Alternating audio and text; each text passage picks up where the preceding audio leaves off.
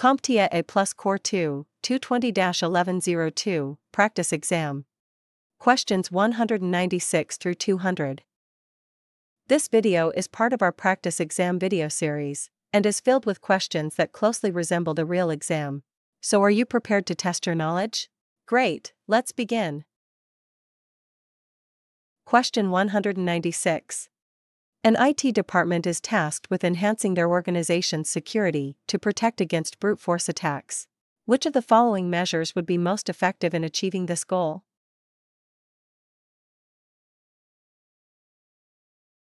The answer is C. Increased password complexity.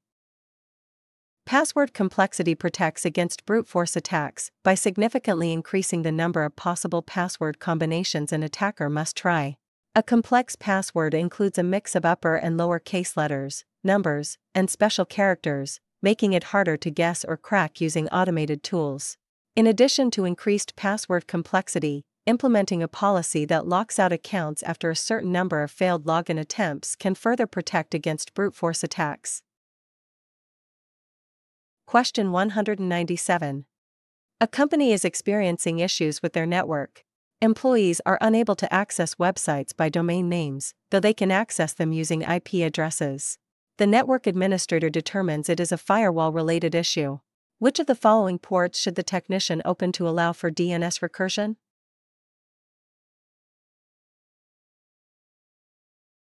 The answer is B.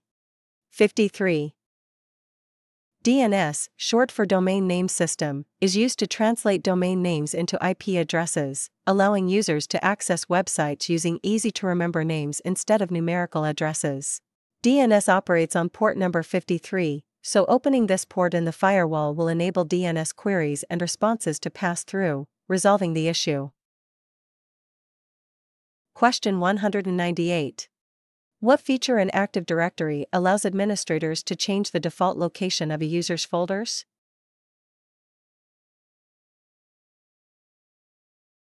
The answer is D. Folder redirection.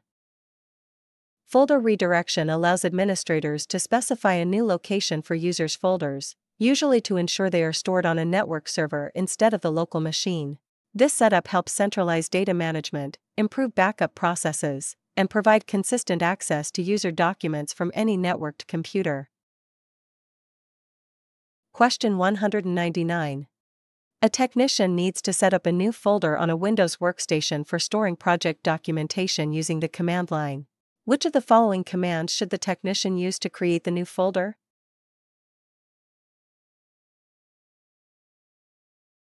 The answer is D. MD. The command md, short for make directory, is used in the command line to create a new folder in Windows. It specifies the creation of a directory at a designated path, which is necessary for organizing and storing files. This command is essential for file management and helps in structuring data effectively. Question 200.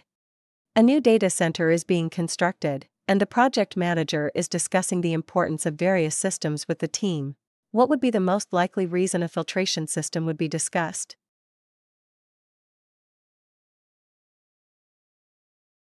The answer is B.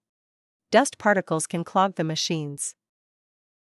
Filtration systems are essential in data centers to prevent dust particles in the air from clogging machines, which can lead to overheating and hardware malfunctions. Effective filtration helps maintain optimal performance and extends the lifespan of the equipment.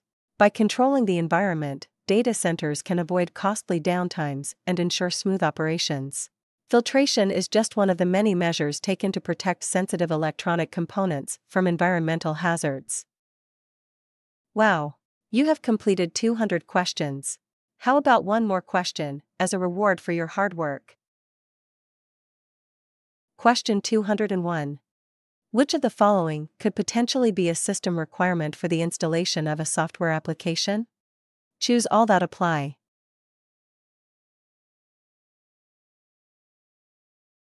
If you chose all the possible answers, you are absolutely correct. All the options 32 bit versus 64 bit architecture, GPU, VRAM, RAM, CPU, and storage could potentially be system requirements for installing software. A 32 bit or 64 bit architecture must match the software design to ensure compatibility. GPUs and VRAM are crucial for graphics intensive applications, while sufficient RAM ensures smooth multitasking and performance. The CPU's speed and number of cores affects the software's efficiency, and adequate storage is necessary for installation and operation. Congratulations on reaching the end of our CompTIA A Plus Core 2 practice exam. Your dedication and hard work are truly impressive. With this milestone behind you, you are now a bit closer to earning your A Plus certification. The next step is to register for the official certification exam. While you've achieved so much already, some extra review can only help. So feel free to revisit our free training videos or take another shot at our practice exam anytime you want to ensure you're fully prepared. Remember, we're cheering you on every step of the way and can't wait to see you succeed.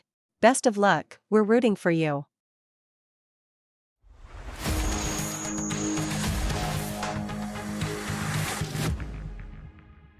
Thank you for watching. Subscribe for more great content.